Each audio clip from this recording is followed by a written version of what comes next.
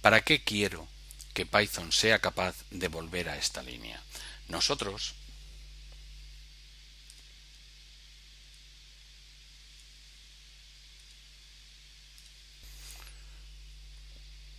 ¿Para qué quiero que Python sea capaz de volver a esta línea? Nosotros ahora mismo lo que hemos hecho ha sido, en esta primera iteración, hemos puesto el contador de días a 31, con paramés ya ha subido a 1 y hemos procesado esta primera lista.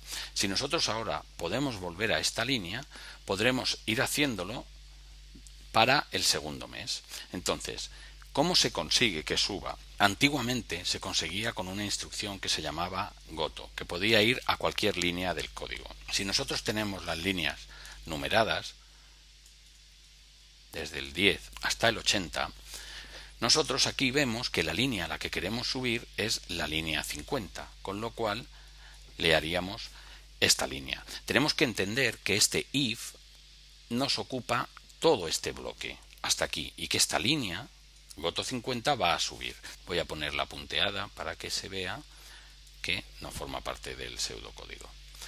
Entonces, el goto 50 es capaz de subir a de nuevo al if. Entonces, llegamos aquí y subimos al 50. Y ahora le decimos, si con mes, que la teníamos a 1, es menor que mes menos 1, mes es 10, menos 1 por el tema de cómo funcionan los índices en las listas de Python, esto va a ser 9 y esto no va a cambiar porque mes no lo modificamos aquí dentro. Así que lo dejo ahí rojito para que se vea. Entonces, ¿es 1 menor que 9? Sí, vuelvo a entrar en el if y a contador días le sumo contador días, lo que tengo, más días de comparamés. Comparamés ya es este, con lo cual aquí le voy a sumar el 28.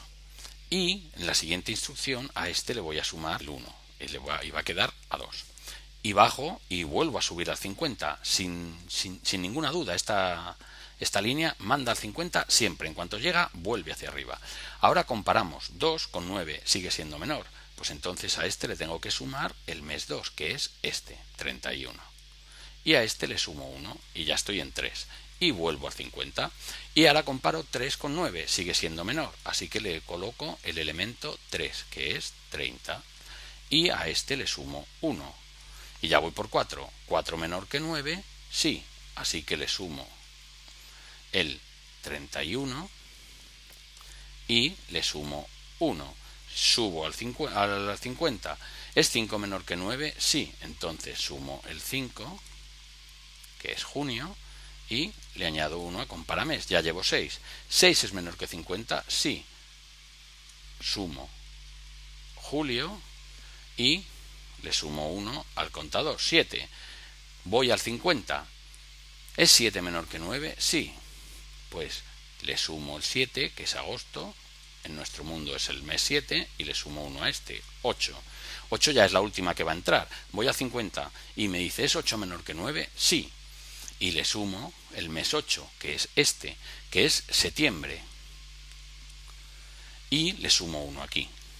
Y ahora 9 no es menor que 9, es igual.